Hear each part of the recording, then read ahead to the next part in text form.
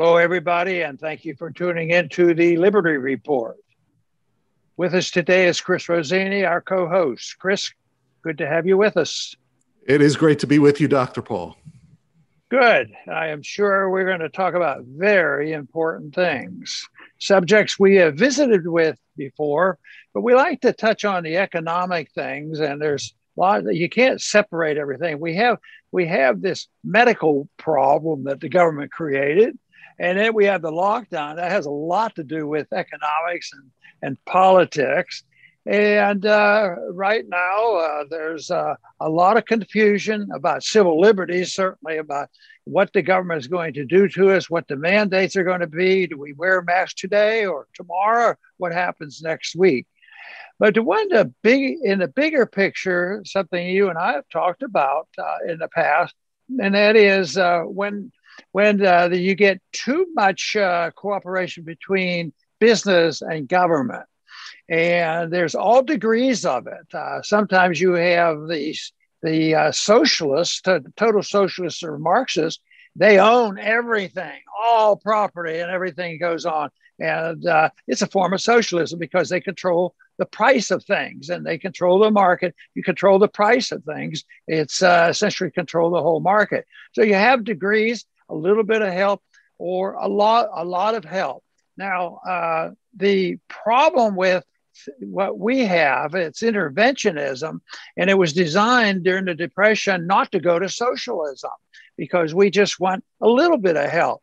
Sounds like a good idea, good old compromise. Let's have you get Democrats and Republicans to vote vote for that. We'll just have to monitor so that nobody takes advantage of the situation. So that's what we've had. We've had interventionism by government. And uh, interventionism is not socialism, although it's socialistic. It does go in and, you know, we're preaching the uh, getting close to having socialized medicine, although we don't have it. The government's in charge of it more so all the time. I imagine 70% of the people get their medical care with dealing with the government. So it's a, a continuous thing. So you have it but the big problem with uh, interventionism, it gives the great incentive for companies that have money to influence government. And uh, take, take for instance, uh, Chris, the uh, military industrial complex. You know, that's the easiest budget to pass, even under today's circumstances with uh, the Republican and Democrats fighting. They always, nobody cuts the military budget because they're protecting our liberty. They're protecting our Constitution. That's why we were in, in the Middle East. So we, they never, never challenge it. They come together. Guess what they do? They, they build weapons in every state. Every state member of Congress or senators are under some pressure, uh, you know, to keep their jobs. It's all designed, it's deliberate. So it starts like that a little bit at a time and then it expands. I would say, Chris, that we're at a point where it's has expanded tremendously and every day. And I think the lockdown has demonstrated that it's that it's getting worse.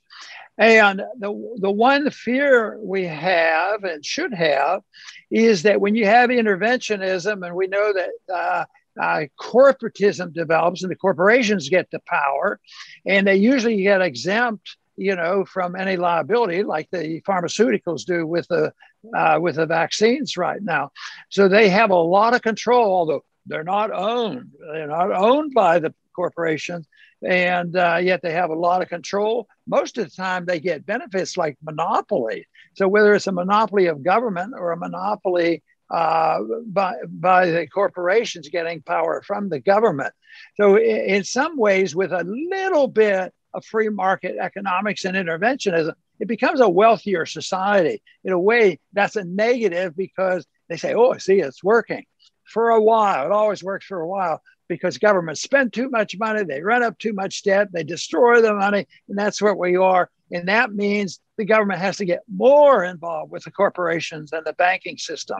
So when we have trouble, can you imagine it? They bail out these companies. Just look at these, these past year. Every time there's a downturn, which was created by government, then we have to bail out more. So the corporations have to be good partners, you know, with the government, build those weapons, do what they want. And now I would think what we're looking at right now, uh, Chris, that we have to be concerned about is this partnership has led the uh, the corporations, especially social media, to be a partner in government to have the power to carry out their social policy. Now, that is dangerous. That is a real threat to our liberties. And I think that's where the frustration comes right now. And if we don't have our way and get people to reverse this trend, you know, this uh, corporatism uh, will then get into become fascism. And I think we're getting very close to that. And that uh, that is when they need more and more power to enforce the laws. And right now, they have way too much power. But the people have to understand this whole system, or they will say, Well, I get checks from the government every month. And, and the business people, unfortunately, it took me a long time to really, really understand. And being in Washington helped me understand that coalition of big business and big government and that should be a threat to all Americans. That's right, Dr. Paul. And you know, what really caught our attention is um, a few days ago, a judge gave an opinion that it was constitutional for corporations to mandate vaccines for their employees, which is just astonishing. And wouldn't you know, the next day we start seeing in the news Google, uh, Netflix. Um, there was there was another big company that uh, Facebook was mandating that their employees have to be vaccinated to come back. I mean, what a terrible situation to put their employees in. And we'll talk more about that. But, you know, this system that we're in, this government corporate system, you don't know where government begins and corporations end, and they're all just mixed up together. And there's no separation between the two. They're staffed by the same people that go back and forth between government and the corporations. They get rich and you know, the big appeal with this is money, because and we're seeing it with these vaccines. Mandated profits. I mean, is there any easier way to make money to get rich than having the government you know force people to use your product you don't have to sell customers you don't have to advertise you don't have to even care about customers they have to take your stuff and they're getting rich beyond belief. And this is, like Dr. Paul said, the military industrial complex has been doing it for decades. This is just now hitting closer to home. Um, so, what we need is the exact opposite. This is nothing like free markets, which is a separation of government and business. That's what the word free means free of government interference. You know, government has a role if a company or people if they use force against you or they defraud you or they break a contract well then government settles that that's the role of government. It is totally backwards today and people amazingly are bamboozled into being afraid of free markets and here we are. It's a terrible situation. Chris you're absolutely right. These corporations we need to examine this very carefully because it's very dangerous the direction that we're going in because we have interventionism which is permissible under our current understanding but it's very dangerous because interventionism says the government can intervene for the benefit of certain companies and the temptation is so great that they are able to get control of the Congress and uh, co- government and influence the lobbyists, and they become much more powerful. And I think that's what we're witnessing uh, right now. But the big problem also is the fact that people who uh, get involved in this, say in the military industrial complex or the medical industrial complex, what they do is they go back and forth. They work for the government. They know the rules and the rate and the operation. Then they go back and get a job in the private industry. In the military, you have the generals who who become uh, experts uh, on foreign policy. And their foreign policy is how do we get the budget passed? And Republicans and Democrats all are voting for the military budget because of this situation. So they're, they're uh, military officers. Americans like the military. I've been in the military, and they think the military uh, and the, the, wars we fight is, are all constitutional and they protect our liberties, which is not true.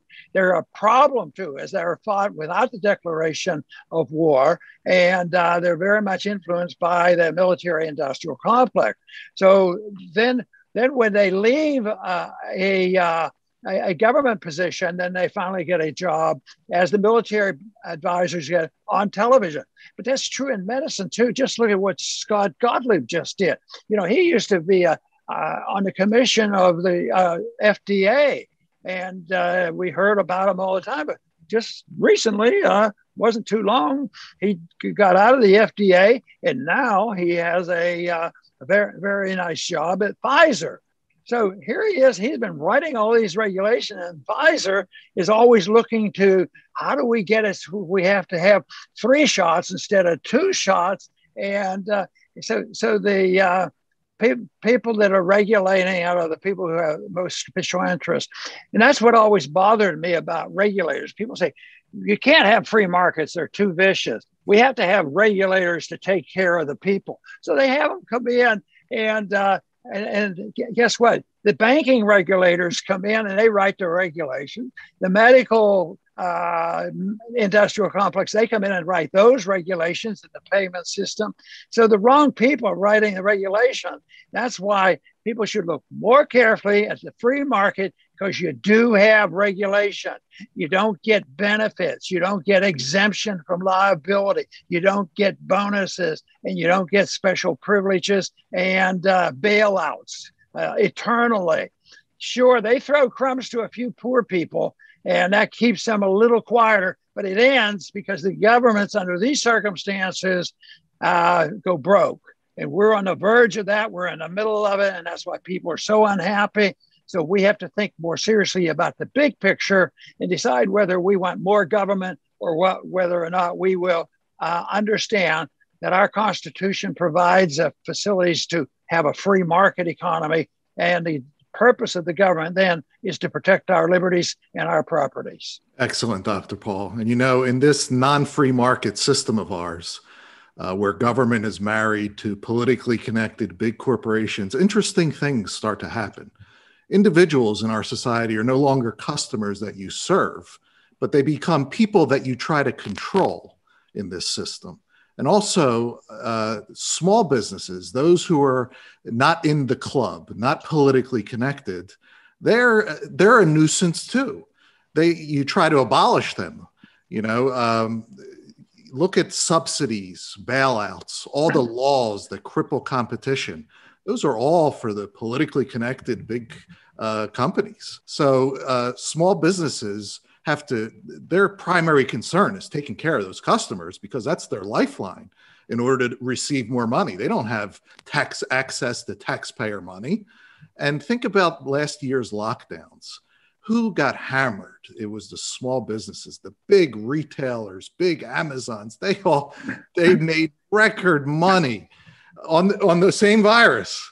So uh, you know, and I, I want to make a, another point because uh, another economic hit could come if small businesses do not speak out against vaccine passports because that will hit you hard as well. Every small business should be against it because you're going to be turned into the vaccine police for the government. You're going to have to pay attention to who took a needle and who didn't, and you're going to have to turn away sales because somebody didn't get a vaccine for a d- disease with a 99% 0.7% uh, uh, uh, survival rate. It will be total headaches all the time that you will have to deal with if you don't speak out against uh, vaccine passports. And if you think it's hard enough to succeed in business, and most businesses fail, if you think it's hard to succeed now, you know, adding a layer of vaccine passports will only make things harder. You know, the um, system we have today is called economic interventionism. It is supposed to be a token amount of economic planning, central economic planning, but not too much, not socialism. We don't want socialism. This was devised in the 1930s when fascism was uh, running rampant around the world, causing World War II. And uh, so we, we were in charge. We had a lot of wealth and we were able to do this, but we needed economic planning. Thinking that we could do it forever because we were so wealthy. But we consume wealth every year more each time uh, through the welfare warfare state. And, and now we're at a point of, of, uh, of back uh, of bankruptcy. But the economic planning always demands more and more economic planning because it doesn't work so well. And uh, and and if you continue to do this, you know the economic planning, which might be minor and just superficial, it goes into a point where somebody has to get control. It's not the people. It's the it's the bureaucrats. It's the politicians. It's the um, people who uh, benefit, the lobbyists, the big businesses. They end up with the control. And that is what has happened. There's a lot of control by, by these individuals. And now it isn't just a little economic planning. What we have now is uh, corporatism. The corporations are big. And we know that social media now is very, very powerful. We know the military industrial complex is very, very powerful.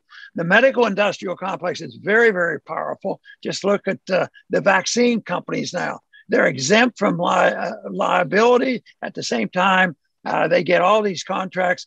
If things aren't going well at the current at the present time, they're deciding, well, you know, giving two shots from Pfizer vaccine doesn't seem to be as good as we thought.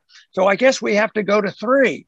You get more and more of the same thing. Of course, they shouldn't be in the vaccine business, and we shouldn't be in the military industrial complex business either. What we should be doing is thinking more clearly about protecting the liberties of people and putting the pressure on the people to take care of themselves because we have morphed into a system where we believe the government has the absolute responsibility to protect us, make us safe and secure, socially uh, safe and economically safe, and secure all, all around. And they can't do it without taking away our liberties. And now we're in a conflict because we're running out of money. I will finish up by closing by uh, saying, you know, it's very tough reading the news these days because people are being put in terrible positions. They're they're going to have to choose between their health going forward and their job I mean, how terrible of a decision is that? Uh, you know, with employers mandating vaccines for a disease with a 99.7% survival rate. I mean, that 0.3%, you have a natural right to take that risk yourself. This is your life. And if your employer does this to you, it tells you a lot about what your employer thinks of you. And hopefully, you'll think a little higher of yourself than they do.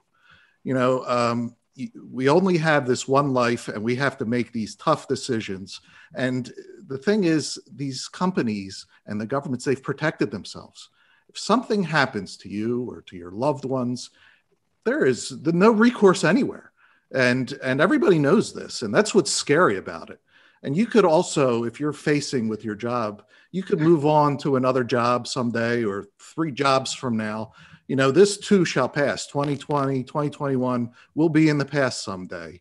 And but the decisions that we make can last. That vaccine, once it's in, it's not coming out.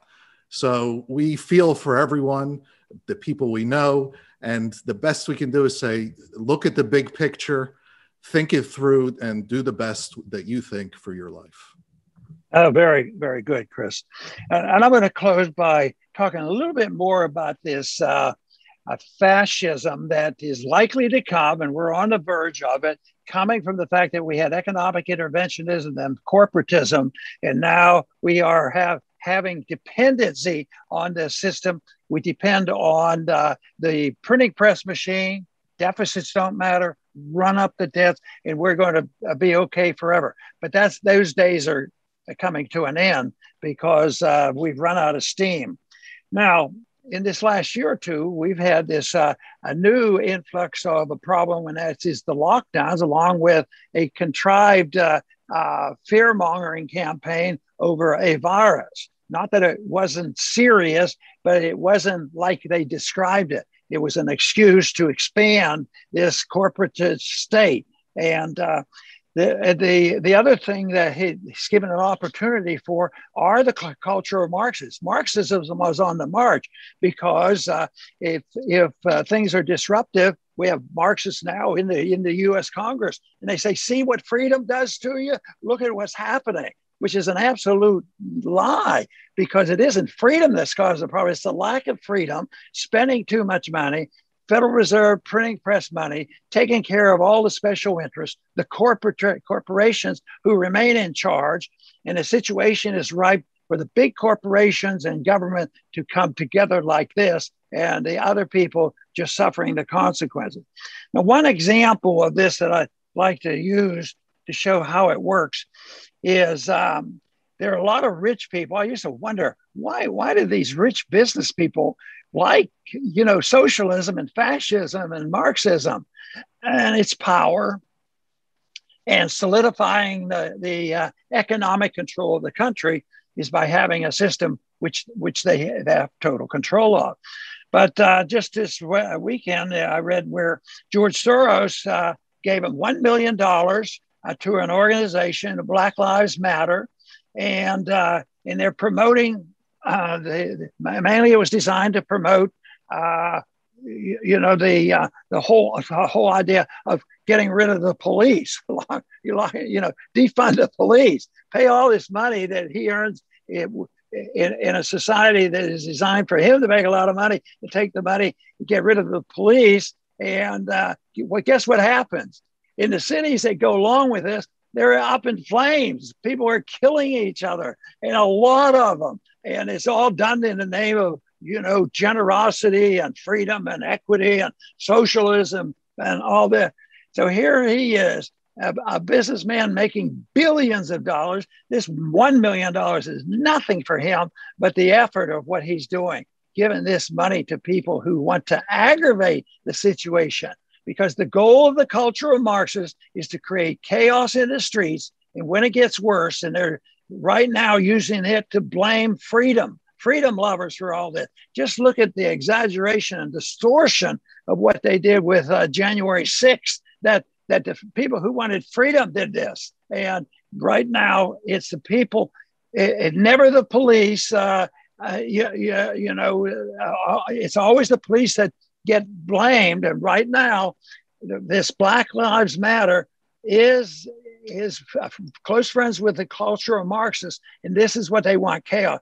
It's the whole mess, whether it's the lockdown for the virus or promoting the uh, Black Lives Matter. It's all designed for chaos because that gives a, a room for the Marxists to move in. But guess what? I don't believe they're going to win because it's so bad and so stupid. It's going to get worse. And a lot of people are waking up. People are waking up now and say, what's this junk they talk about? Well, the vaccine isn't working. So we'll give two doses. Oh, that doesn't work. We'll give them three doses.